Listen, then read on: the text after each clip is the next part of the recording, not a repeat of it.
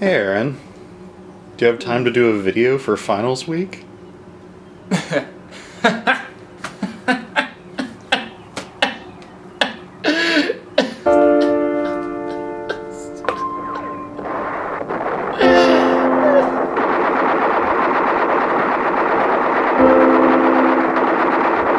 the battle lines are drawn and the Marines repulse foes against mounting casualties and suffering from a loss of morale, he desperately needs a major victory.